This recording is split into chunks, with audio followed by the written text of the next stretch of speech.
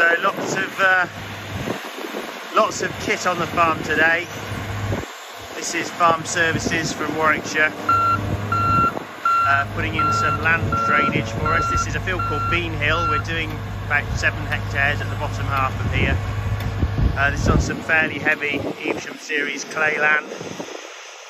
Uh, the drains that were put in here in the late 70s, early 80s uh, have just about seen their useful lives uh, finished now. Uh, the, the, drains that were in here sort of silted up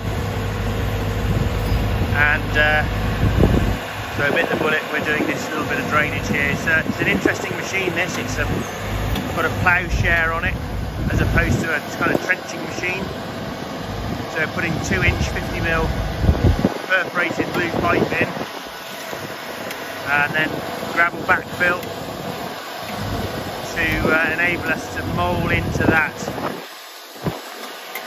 loose gravel. So moling is a tractor driven machine that we can use that puts a, a sort of a tube into the ground that goes into that gravel layer and can then be allow the water to circulate through the gravel and then into the drain. Uh, it's been quite a lot of soil at the top here, but by the time the uh, the digger's just driven over that, firmed it all back in, that will all hopefully ride down nice and level.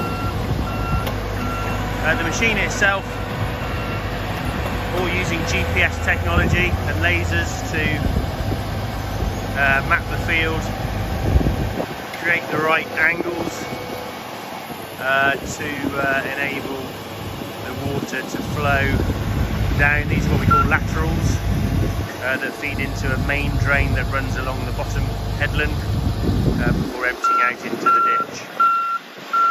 Uh, little tracked gravel cart there as well, uh, ensuring that uh, the big machine keeps on going.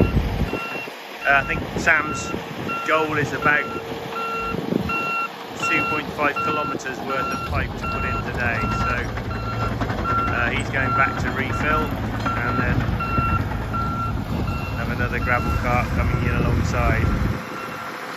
It's a great time of year to do this, uh, nice and dry on the top and uh, this will hopefully enable us to get a bit more productivity out of this field when the uh, when the wetter times arrive. It's been wheat this year going into winter beans. So we've got a little bit of time to let these settle down and, uh, and start to work.